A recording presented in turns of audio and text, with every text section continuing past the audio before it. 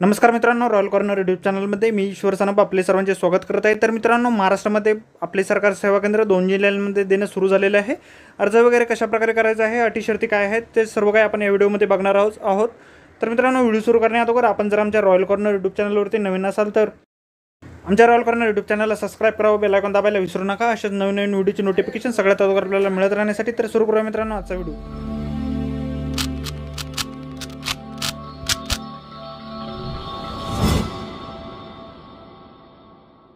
मित्रांनो आपण आलेलो आहोत पुणे जिल्ह्यासाठी जे आपली सरकार केंद्रांची या ठिकाणी वे वॅकन्सीसाठी नोटिफिकेशन निघालेलं आहे त्यावरती आपण आलेलो आहे.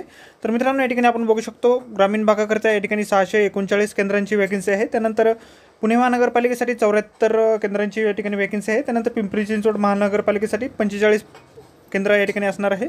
त्यानंतर महानगरपालिकेसाठी या ठिकाणी पंधरा आणि कटमंडळांसाठी आठ असे एकूण सहाशे सातशे एक्क्याऐंशी केंद्रांची या ठिकाणी वॅकन्सी निघालेली आहे. तर याची जी ऑफिशियल जाहिरात आहे आपण या वेबसाईटवरती W W dot G V Pune dot G O dot in या वेबसाईटवरती बघू शकतो आणि अप्लाय जे करायचं आहे आपल्याला या वेबसाईटवरती करायचं आहे. A S K Pune dot Setu online dot com या वेबसाईटवरती आपण डायरेक्टली या ठिकाणी अप्लाय करू शकतो. आपले सरकार केंद्रासाठी. तर मित्रांनो या ठिकाणी महत्त्वाच्या तारखा सगळ्यात अगोदर या ठिकाणी दिलेल्या आहेत. तर मित्रांनो या ठिकाणी तुम्ही जे ऑनलाईन अर्ज या ठिकाणी आहे ते चार एक दोन हजार बावीसपासून ते तीन दोन दोन हजार बावीसपर्यंत या ठिकाणी एक महिन्याच्या कालावधीमध्ये तुम्ही या ठिकाणी सादर करू शकता ऑनलाईन पद्धतीने. जिल्हाधिकारी यांच्या निर्देशानुसार या ठिकाणी छाननी केली जाणार आहे तुमच्या अर्जांची. त्यानंतर पात्र अपात्र यादी देखील जिल्हाधिकाऱ्यांच्या निर्देशानुसार नुसार या ठिकाणी जाहीर केली जाणार आहे. तर मित्रांनो सगळ्यात प्रथम आपण या ठिकाणी अटी शर्ती बघणार आहोत. तर मित्रांनो सगळ्यात पहिली अट या या ठिकाणी आहे. जो अर्जदार असेल जो आपले सरकार केंद्रासाठी अप अप्लाय करण्यासाठी जो अर्जदार असेल तो त्याच गावातील त्या क्षेत्रातील राहणार असला पाहिजे. ते त्याच महानगरपालिकेत किंवा कटमंडळ जिथून तो अप्लाय करत असेल त्या ठिकाणचा तो रहिवासी असणं आवश्यक आहे. अर्जदाराकडे स्वतःचे भाड्याचे घेतलेले दुकान अथवा स्वतःची जागा किंवा काही तुमच्याकडे असेल तर ते तुमच्याकडे असणे आवश्यक आहे. अर्जदार जो आहे मित्रांनो या ठिकाणी दहावी पास असणं आहे. शैक्षणिक पात्रता जी आहे दहावी पास या ठिकाणी आहे. त्यानंतर तुमचं संगणकाचं ज्ञान तुम्हाला असणं आवश्यक आहे. M S C I T C C C काहीतरी कोर्स या ठिकाणी संगणकाच्या संदर्भातील तुमचा झालेला असला पाहिजे. संगणकाचे चांगले ज्ञान असलेले सर्टिफिकेट तुमच्याकडे असलेले पाहिजे. त्यानंतर मित्रांनो अर्जदार जो असेल त्याच्याकडे कमीत कमी एक कॉम्प्युटर लॅपटॉप किंवा प्रिंटर एक स्कॅनर एक बायोमेट्रिक आणि एक वेब कॅमेरा असणं आवश्यक आहे. त्याचबरोबर अर्जदाराच्या या ठिकाणी पोलीस व्हेरिफिकेशन असणं आवश्यक आहे किंवा पोलीस व्हेरिफिकेशनसाठी जर तुम्ही अर्ज केला असाल त्याची पावती तुमच्याकडे असणे आवश्यक आहे. तर मित्रांनो या ठिकाणी काही आपले सरकार केंद्र जर तुम्ही घेत असाल तर काही कर्तव्य आणि जबाबदारी आहेत. जर आपण अप्लाय करत असाल तर या ठिकाणी हे सर्व काही या ठिकाणी वाचून घ्यायचं आहे. त्याचबरोबर मित्रांनो या ठिकाणी काही अटी शर्ती दिलेल्या आहेत. तर आपण या ठिकाणी वाचून घ्यायचं आहे.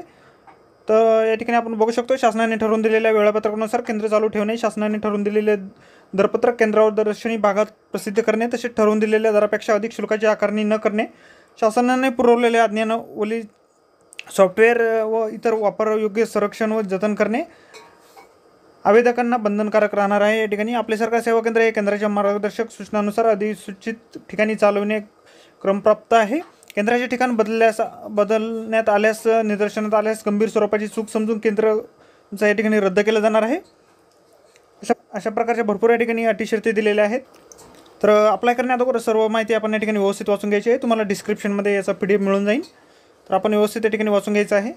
तर मित्रांनो या ठिकाणी वॅकन्सीची लिस्ट दिलेली आहे सगळ्यात अगोदर जी लिस्ट आहे कंटोनमेंट बोर्डाची या ठिकाणी आहे तर आपण या ठिकाणी बघू शकतो Dehu road cantonment board Pune cantonment board Khadki cantonment board यांची लिस्ट या ठिकाणी आहे तर आपण जर या वॉर्डामध्ये वगैरे येत असाल तर या ठिकाणी तुम्ही अप्लाय करू शकता जागा देखील या ठिकाणी समोरच्या बाजूस दिलेल्या आहे किती केंद्र आहेत किती जागा या ठिकाणी वेकंट आहेत आणि म्हणजे वेकंट म्हणजे सेंटर आहेत म्हणजे जागा किती खाली आहे आपण या ठिकाणी बघू शकतो त्यानंतर नगरपालिकांची या ठिकाणी यादी आहे बारामतीसाठी वगैरे चाकण या ठिकाणी आहे त्यानंतर लोणावळ्यासाठी आहे त्यानंतर शिरूर नगर परिषद परिषदेसाठी आहे तळेगावसाठी आहे तळेगाव दाभाड्यासाठी इंदापूरसाठी आहे जुन्नरसाठी आहे दौंडसाठी आहे.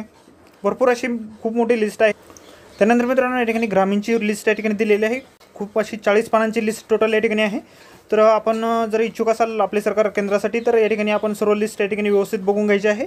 तुमच्या एरियात देखील या ठिकाणी प्रत्येक जवळपास एरियामध्ये या ठिकाणी वॅकन्सी निघालेली आहे. तर आपल्या एरियामध्ये जर वॅकन्सी असेल तर या ठिकाणी अप्लाय करायचं आहे. चाळीस पानांची टोटल लिस्ट या ठिकाणी आहे. तुम्ही जर पी डी एफ रीडरच्या तुम्ही सर्च बारमध्ये देखील या ठिकाणी आपल्या एरियाचे नाव या ठिकाणी सर्च करून आपल्या एरिया या ठिकाणी शोधू शकता. तर मित्रांनो पुढची जी वॅकन्सी आहे या ठिकाणी जिल्हाधिकारी कार्यालय सांगली यांच्यातर्फे आहे. सांगली जिल्ह्यासाठी वॅकन्सी असणार आहे. तर आपण या ठिकाणी बघू शकतो. भरपूर काही माहिती या ठिकाणी दिलेली आहे. ऑफिशियल वेबसाईट देखील या ठिकाणी आहे.